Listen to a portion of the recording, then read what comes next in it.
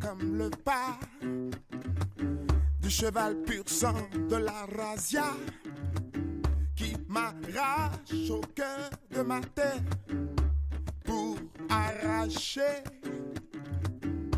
le coton. Au fil du temps,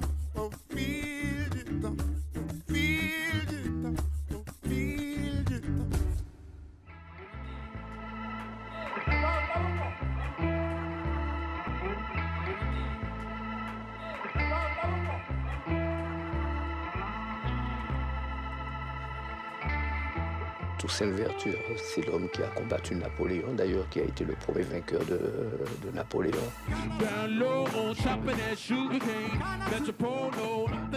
He led the first uh, uh, successful revolution uh, against uh, slavery.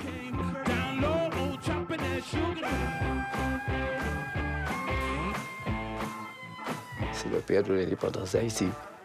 Hein, Haïti, c'est la première république noire. J'aime beaucoup une phrase de Frantz Fanon. Je ne dois pas être esclave de l'esclavage qui a déshumanisé mes pères. Mais pour ne pas être esclave de l'esclavage, encore faut-il connaître son histoire et sa mémoire.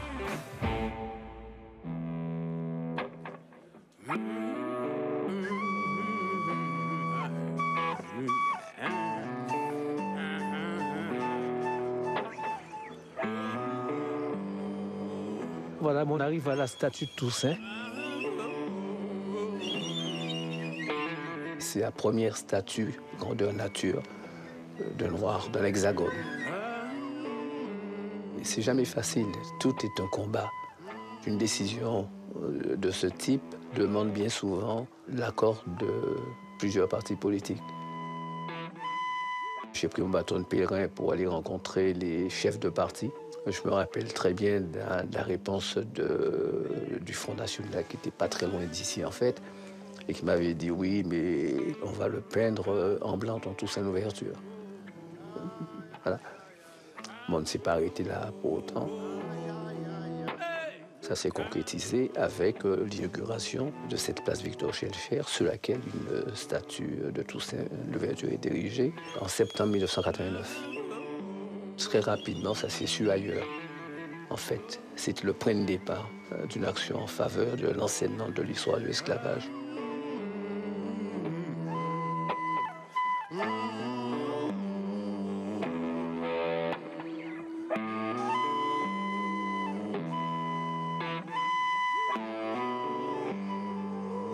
Moi, j'ai écrit des chansons, j'ai fait le spectacle pour liberté. Pour battre contre l'esclavage qui continue.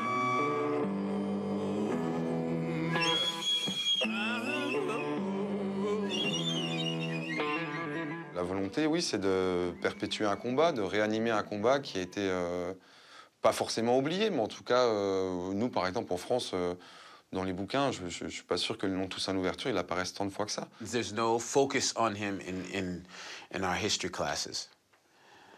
So people that are more engaged, the same people that would speak about Marcus Garvey or uh, Frederick Douglass, they may speak about Toussaint Louverture.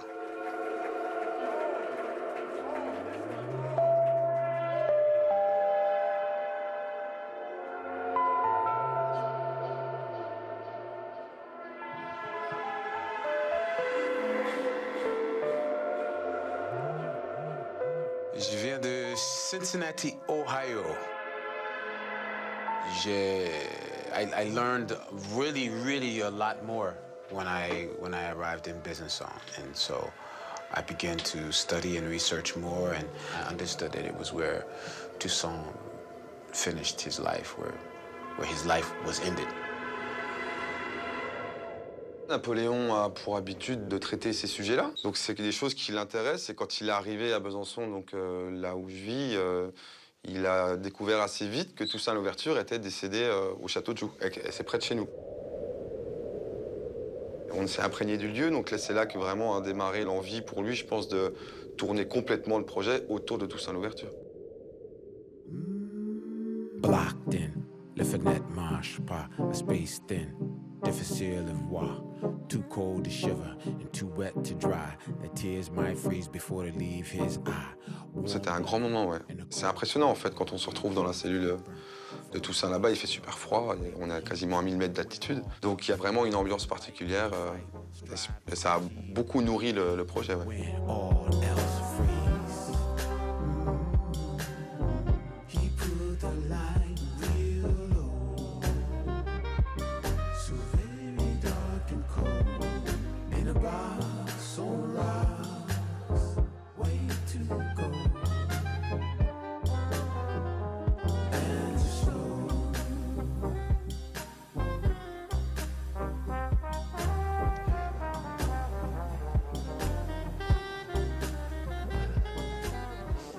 Mon cœur sera toujours avec vous pour soutenir la cause de la race noire qui a produit le grand Toussaint d'ouverture.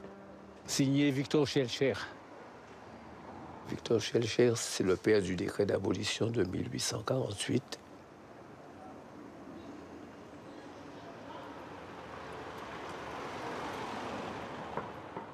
Je suis né à Pointe-à-Pitre, en Guadeloupe.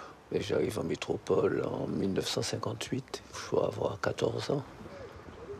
C'est en arrivant à Paris euh, que je me suis rendu compte réellement pour la première fois que j'étais noir. En Guadeloupe, je m'étais jamais aperçu que j'étais noir.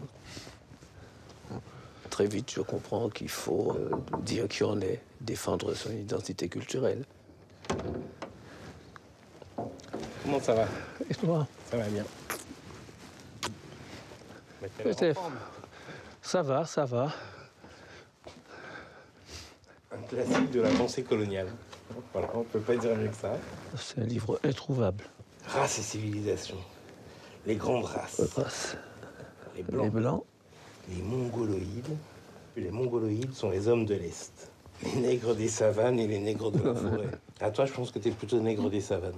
Je milite avec mon père d'aussi loin que je m'en souvienne, en fait. J'ai commencé dans les années 80, en fait. J'étais gamin, j'avais un peu moins de 10 ans. Il y avait une émission de radio qui s'appelait Culture et mœurs de l'outre-mer, où je racontais des contes en créole à destination des jeunes antillais comme moi nés en métropole. Et puis après, tous mes engagements, ils ont découlé de là, ouais.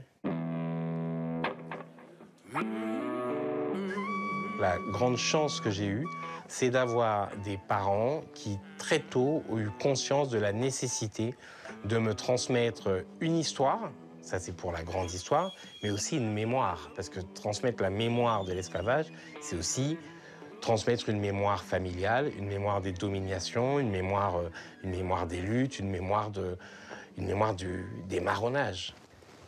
Alors là, euh, le document là qui est intéressant, alors ça s'appelait Lettre ouverte aux citoyens de France. Madame, Monsieur, tous les êtres humains naissent libres et égaux en dignité et en droit. Il n'y a pas de génération spontanée. Les idées ne tombent pas du ciel. Elles ont toujours besoin d'une force matérielle qui les transmet. En l'occurrence, là, c'était mes parents. Euh, Mes parents m'ont transmis des choses, la fierté de mon identité guadeloupéenne, et en même temps un sentiment de solidarité euh, envers toute l'humanité. Avec l'association, moi, ce qui m'a toujours frappé, et quand tu vois les débats aujourd'hui, c'est la manière dont toi, tu associes toujours la République à euh, notre identité, à notre particularisme. Or, aujourd'hui, en fait, tout le débat, c'est d'opposer l'universel et le singulier. Tout à fait. Tu commences par citer la Déclaration des droits de l'homme et du citoyen. Donc, Toujours, euh, toujours, toujours. donc c'est assez, euh, c'est pas mal.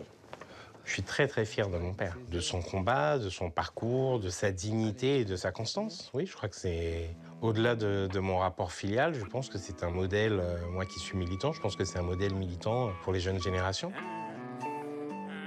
Dès 1982, nous avons œuvré pour que des compatriotes ultramarins soient présents sur les listes électorales en situation, en position d'être élus.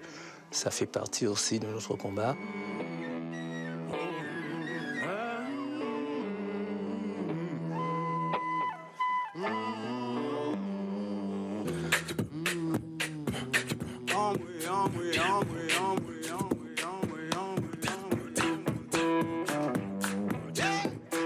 Justement, ça me donne l'occasion d'inviter les jeunes à prendre le relais et à s'engager aussi, parce que l'histoire est vraiment importante. Il faut savoir d'où on sort pour pouvoir préparer son avenir. Et ce problème de, de- de transmission, ce problème d'éducation, c'est vraiment, c'est vraiment pour nous essentiel.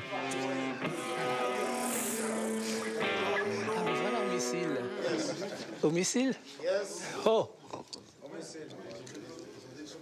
créoles. ouais, c'est- Oui. était bon content. Moi-même qui content. Un des premiers dit ça. Yes. Un suivi toute, toute carrière au Canada. Merci un peu.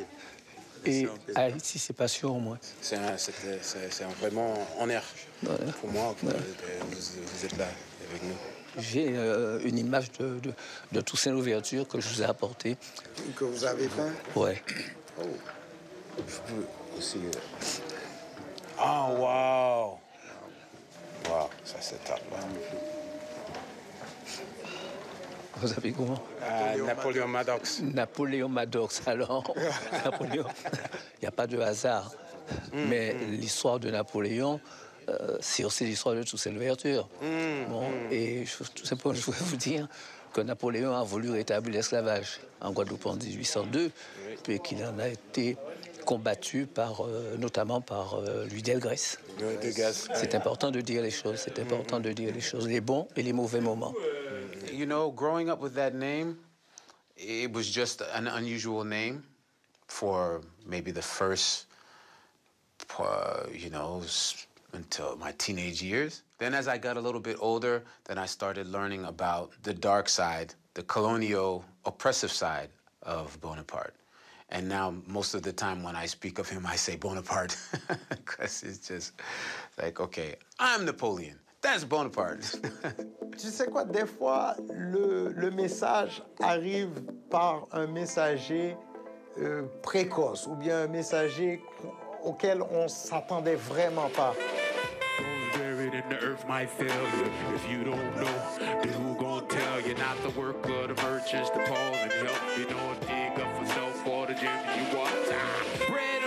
Land or stream, but we can invest now or later on. Explain they saying service made for the sovereign nation, like stacking our bases, their preoccupation while we. Je pense que ce savoir, justement, cette connaissance, cette histoire, doit continuer à se perpétuer, ça veut dire de génération en génération, justement pendant qu'on est dans la confusion, de mettre encore l'éclairage sur notre histoire qu'ils nous ont cachée.